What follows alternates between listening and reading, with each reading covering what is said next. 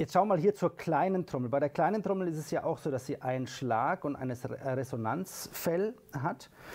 Und ich würde da genau die gleiche Methode wieder anwenden wie bei der großen Trommel, nur dass das Klangideal halt ein anderes ist. Ja? Also es geht jetzt eben nicht darum, einen möglichst langen Klang zu produzieren, sondern die kleine Trommel, die soll ja recht knackig klingen. Das bedeutet, wir schauen uns jetzt mal an, wie das Resonanzfell gestimmt ist. Beim Resonanzfell ist es wirklich ein bisschen schwieriger, das herauszufinden, weil man halt hier immer diese Saiten hat, ne, die mitschnarren. Das heißt, nur durch diesen Klang jetzt festzustellen, ähm, wie, wie, das, wie das Resonanzfeld gestimmt ist, das ist ähm, schwierig. Deshalb macht man es hier vor allem auch über den Druck. Und was das Resonanzfeld bei einer kleinen Trommel machen soll, ist ja das Geräusch vom Schlag auf dem Schlagfell auf die Saiten zu übertragen. Das heißt, das Resonanzfeld an sich klingt eigentlich gar nicht. Ja? Das ist nicht der Sinn dass das Resonanzfell klingt, sondern es soll einfach die, die Schwingung vom Schlagfell auf die Saiten übertragen. Und da kann man überlegen, wenn man jetzt das Resonanzfell, also bei der kleinen Trommel sind ja beide Fälle deutlich höher gestimmt als bei der großen Trommel und haben also auch eine viel höhere Spannung, dann wäre jetzt die Frage, ob man einen langen Nachklang möchte, bei dem die Saiten also länger schwingen, oder ob er kurz und trocken sein soll. Und je loser das Resonanzfeld hier gestimmt ist, desto länger kann es schwingen, ne? desto länger sind auch die Wellen. Und wenn es fester gespannt ist, dann klingt es einfach kürzer, weil der Nachklang einer höheren Spannung unterliegt. Okay? Jetzt versuche ich mal mit meinem Stimmschlüssel, den wir hier brauchen bei dieser Trommel, auch dieses Resonanzfeld auf ein Nullniveau zu bringen. Wieder über Kreuz.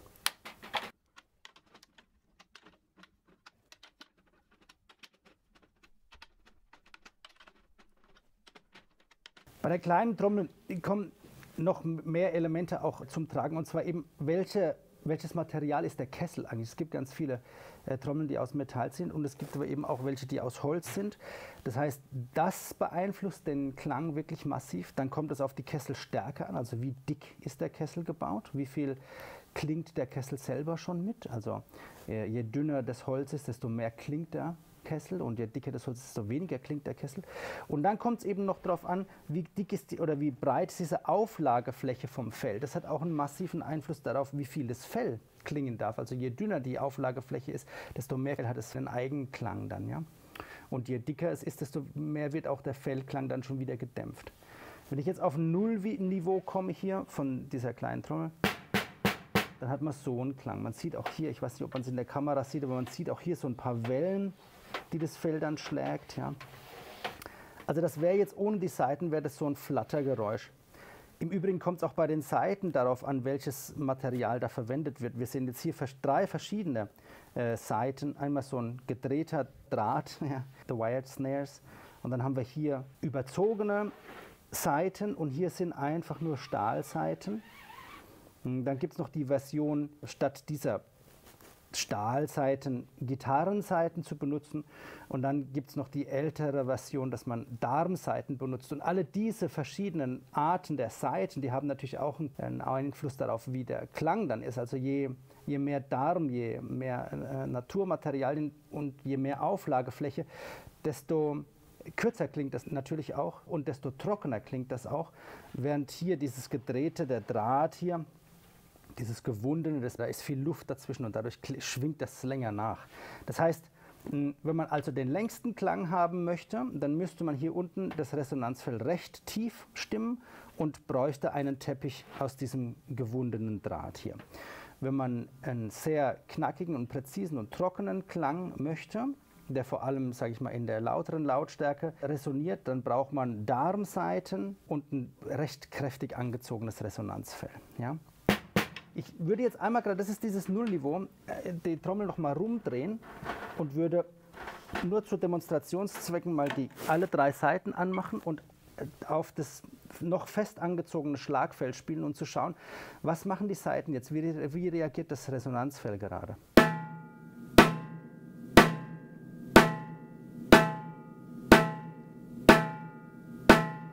Also man hört, dass das Resonanzfeld viel zu tief gestimmt ist. Es klingt fast wie ein Tom-Tom jetzt, ja. Und es hat aber eben diese Saiten, die da mitschnarren. Das ist eigentlich der. Ich mache mal die Saiten einmal kurz weg zum Hören.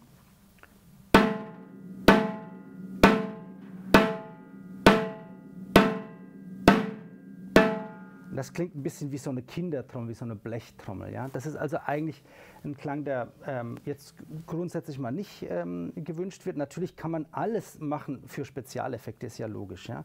Also auch bei der großen Trommel kann jede Stimmung wählen im Prinzip. Ne? Das hat dann einfach besondere Spezialeffekte. Okay. Jetzt würde ich einfach mal versuchen, dass wir dieses Resonanzfell, was jetzt zu sehr flattert, auch was zu lose ist, ein Stück weit anziehen. Das heißt, ich finde mal wieder dieses Nullniveau, wenn die Schrauben gerade so greifen. Also man sieht jetzt auch, dass die wirklich frei sind, ne? dass die sich bewegen lassen, hier diese Schrauben. Also jetzt sieht man das. Man kann die sogar mit den, mit den Fingern jetzt drehen und so. Also das ist, äh, das ist einfach viel zu los. So ist es ja auch nicht gedacht. Das heißt, wir drehen die jetzt mal so ein bisschen an, damit wir ein Nullniveau finden hier wo ich merke, dass die Schraube packt. Ja? Dass die gerade so greift hier. Und auch hier merkt man dann, wenn manche Schrauben verzogen sind ein bisschen oder wenn da ein bisschen Öl oder Fett fehlt mal wieder, ja.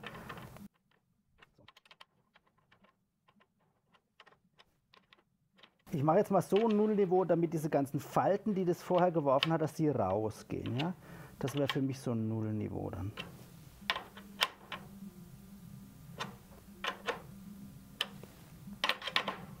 Und ich versuche trotzdem alles eben über das Fingergefühl zu machen, über das Druckgefühl in meiner Hand.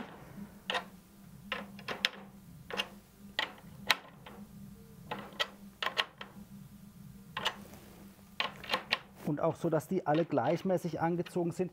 Auch auf die Gefahr hin, dass auch dieses Fell schon etwas zu alt ist und eben in sich schon verzogen ist, was bedeuten würde, dass man dann halt an verschiedenen Schrauben unterschiedliche Druckverhältnisse bräuchte. Ja? Okay, und jetzt drehe ich das mal rum und versuche nochmal zu spielen, mal schauen, was sich da jetzt getan hat am Klang. Mal ohne Saiten zunächst.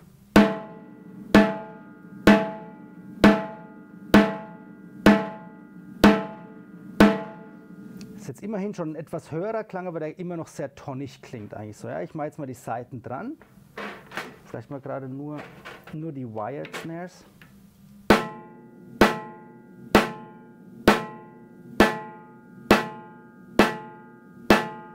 Das wäre jetzt zum Beispiel was, womit man schon arbeiten könnte, wenn man diesen Klang haben möchte. Ja? Mit allen Seiten.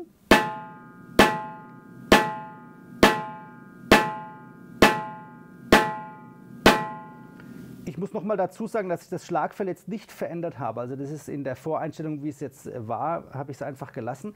Ähm, ich glaube, dass das Resonanzfell jetzt schon so auf diesem Nullniveau ne, eine Einstellung hat, mit der man arbeiten könnte, wenn man das Schlagfell dieser Spannung ein bisschen angleichen würde. Und dann kann man damit spielen. Dann korrelieren die zwei Fälle miteinander oder es gibt insgesamt einfach einen schöneren, tieferen Klang. Ähm, und dadurch natürlich wahrscheinlich auch ein bisschen längerer Klang. Man hört auch jetzt, dass die Trommel so ein bisschen singt. Also immer wenn ihr das Gefühl habt, die Trommel singt zu sehr, das könnte durchaus mit dem Resonanzfeld zusammenhängen, dass das einfach nicht genug Spannung hat. Ja? Und jetzt ziehe ich das Resonanzfell mal ein bisschen mehr an noch, um sozusagen die Tiefe ein bisschen wegzunehmen. Also wenn man hier mal hört, das ist ja immer noch zu tief und es ist halt sehr weit weg auch von der Spannung des äh, Schlagfelds und deshalb drehe ich das mal ein bisschen höher, möchte aber mal versuchen, einfach einen grundsätzlich eher tiefen kleine Trommelklang herzustellen. Das heißt, ich gehe überall mal so eine etwa eine Viertelumdrehung rein. Ja? Hier hat die Schraube jetzt noch ein bisschen Spiel gehabt. Okay. Ein Einfluss darauf, wie hoch der Druck ist, haben natürlich auch die Beilagscheiben. Das sind jetzt hier zum Beispiel äh, welche aus Hartplastik, die dann nochmal so ein bisschen Spiel erlauben auch, wohingegen auch so Beilagscheiben aus Metall jetzt weniger Spielraum haben dann, ja, oder weniger, weniger Spielraum lassen.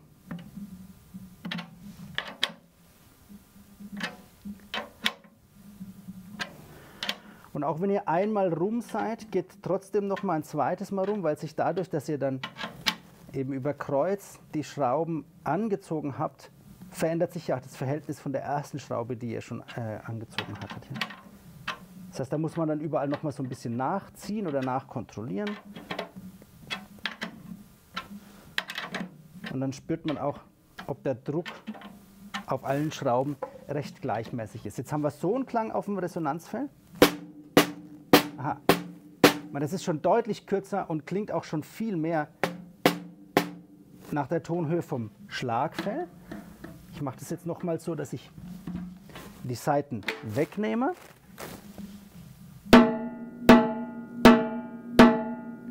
Und jetzt sind wir schon sehr nah an dem Klang dran, womit man wirklich als kleine Trommelspieler arbeiten könnte. Ähm, das ist zwar immer noch tief, die Trommel hat aber immer noch so einen Eigenklang, den ich eigentlich mag. Ja? Ähm, er darf halt nur nicht zu, zu lange klingen. Und das finden wir jetzt raus, indem wir die Snares mal dran bauen.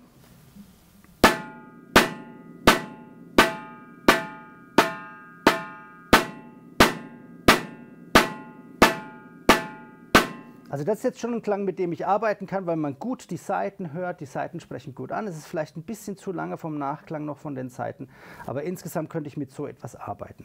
Jetzt ist es für mich so, dass das Schlagfell momentan eine sehr starke Spannung hat. Es ist sehr hochgezogen momentan. Ja? Ich würde mal versuchen, dass wir vom Schlagfell uns dem Resonanzfell ein bisschen annähern. Das heißt, ich mache auch hier ein Nullniveau. Ich entspanne also komplett das Fell mal und lasse die Schrauben wirklich weg vom Reif, sodass sie den gar nicht mehr greifen. Ja? Einfach mal um zu schauen, auf welchem Niveau ist das Fell. Und auch dieses Fell, darf ich gleich dazu sagen, ist eigentlich recht alt und schon lange gespielt. Das heißt, es kann durchaus sein, dass wir das jetzt merken beim, beim Druck, dass wir von vornherein einen höheren Druck aufbauen müssen, damit überhaupt ein guter Klang rauskommt. Es gibt auch kleine Trommeln, die äh, mit Naturfell gespielt werden. Und Naturfell ist von Natur aus ein bisschen weicher im Anschlag und im Spielgefühl.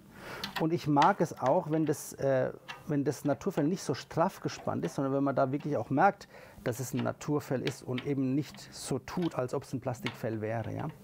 Hat natürlich Auswirkungen auf die Spielart und Weise. Weiches Naturfell muss man entsprechend auch weicher spielen, damit es nicht reißt. Vor allem, wenn es tiefer gespannt ist.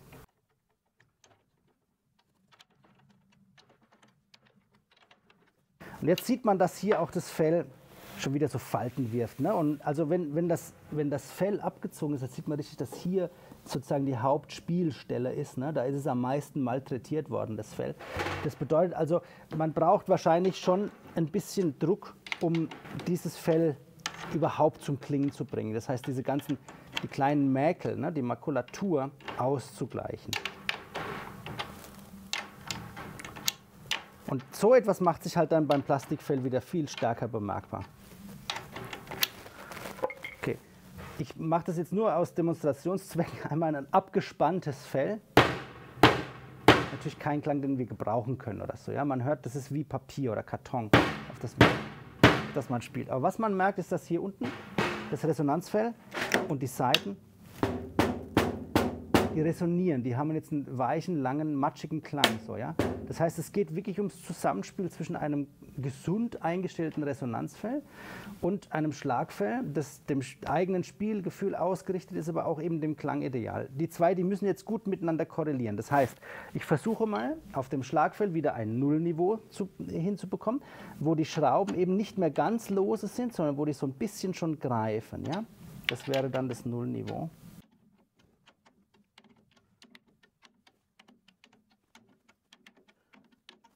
Und dann sieht man bei dem Fell schon, dass es immer noch diese Wellen schlägt.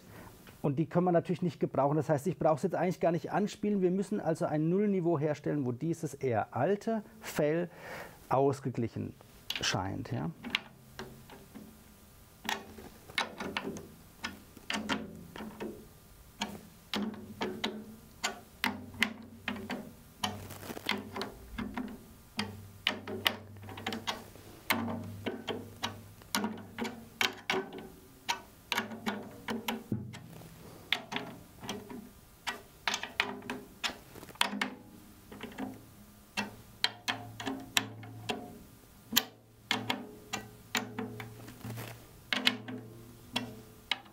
Habe ich schon so eine gewisse Tonhöhe erreicht. Und das Fell ist aber immer noch wellig. Das heißt, ich brauche noch mehr Druck. Man sieht also, wie viel Druck ich da jetzt eigentlich auf dieses Schlagfell ausüben muss, damit es überhaupt ausgeglichen ist. Ja.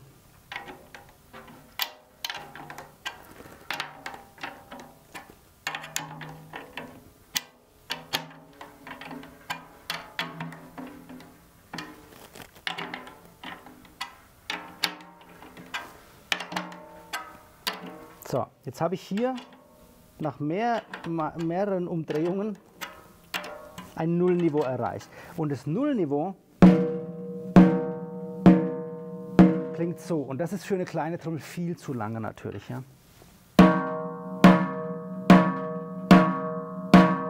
Das kann man für bestimmte Effekte mal einsetzen. Ich mache mal vor, wie das klingen würde, wenn ich jetzt das, die Seiten dran spanne.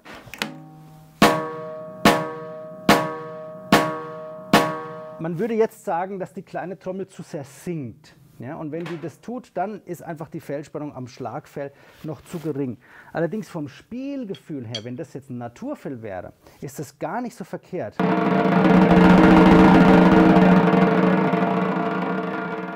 Weil man sich schön langsam bewegen kann und halt weiche Bewegungen machen kann. Aber der Klang ist einfach noch keine kleine Trommel. Das heißt, wir müssen den Druck noch weiter erhöhen. Ich mache das jetzt noch einmal mit ähm, Gefühl, ja, nach Gefühl sozusagen. Immer so eine Dreiviertelsumdrehung vielleicht. Das spürt man dann auch im Laufe dessen, dass man das Fell aufzieht oder die Spannung erhöht, dass es einfach noch lange dauert oder dass, es, dass man schon fast da ist. Ja. Und je öfter man das macht, desto mehr bekommt man dafür auch ein Gespür. Und jetzt habe ich so ein Niveau erreicht, wo ich sage, okay, wenn ich jetzt die Seiten dran mache, dann könnte es schon nach einer gut klingenden kleinen Trommel klingen. Das probiere ich jetzt aus.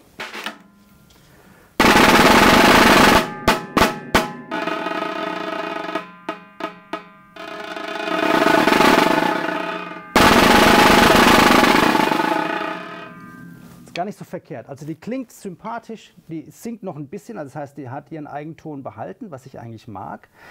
Und sie ist aber trotzdem trocken im, im Klang. Das heißt, das Resonanzfeld und das Schlagfell, die resonieren jetzt gut miteinander. Das wäre also eine sehr schöne grundsätzliche Einstellung für die kleine Trommel. Jetzt möchte ich euch zeigen, wie man zusätzlich gerade bei Plastikfällen noch eine Feinabstimmung hinbekommt. Und zwar müsst ihr dazu die Mitte wegdämpfen hier und direkt an den Schrauben mal über die Tonhöhe äh, versuchen herauszuhören, wie die Spannung ist. Ja? Und man hört jetzt, dass diese beiden Schrauben minimal unterschiedlichen Klang haben. Ja?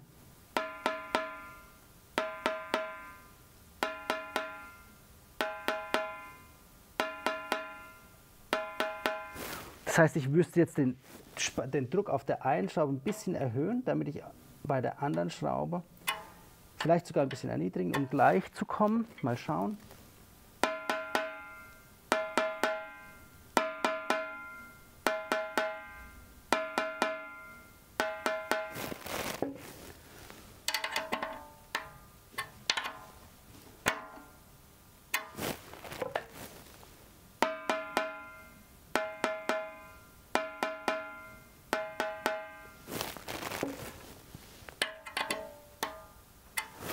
Und das kann man jetzt mit allen Schrauben so fortsetzen, bis wirklich an jeder Schraube der gleiche Druck herrscht. Übrigens haben auch die gegenüberliegenden Schrauben etwas damit zu tun, wie, der, wie, die Spannung, wie das Spannungsverhältnis am anderen Ende des Fells ist.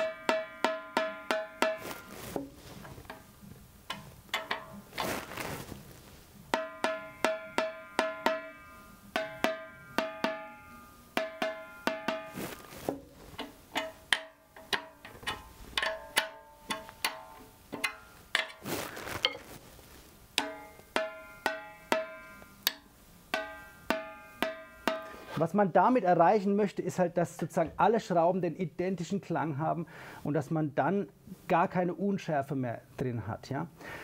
Für mich persönlich ist es aber gar kein Ziel. Also man benutzt vor allem deshalb Naturfälle, dass es eben keinen gleichmäßigen Klang gibt. Ja? Das Naturfeld gleicht selber so ein bisschen aus, Unebenheiten, aber trotzdem ist immer eine gewisse Unschärfe drin und das ist eigentlich das, was mir äh, beim kleinen Trommelklang sympathisch ist und was auch diese Wärme im Klang gibt. Wenn man jetzt wirklich einen ganz klaren, brillanten Ton hat, dann hat das von Anfang an so eine gewisse Kälte und auch Schärfe drin.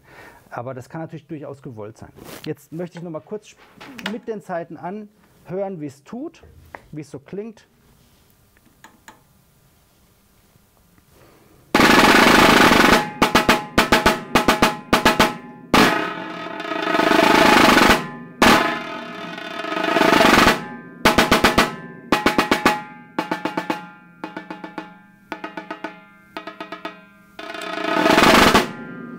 Man merkt jetzt, dass am Rand die Seiten noch nicht so richtig ansprechen. Das ist aber eigentlich nicht ein Problem der Fellspannung, sondern das könnte man über die Seitenspannung dann lösen, ne? dass man da sozusagen diese, das Gedrehte ein bisschen lockert, damit es anspricht, wenn man weiter draußen ist. Oder wenn es ein bisschen zu lasch klingt, dann kann man auch die Seiten wieder ein bisschen fester anspannen, damit die nicht so lange nachklingen. Das wäre jetzt mal das grundsätzlich zur kleinen Trommel. you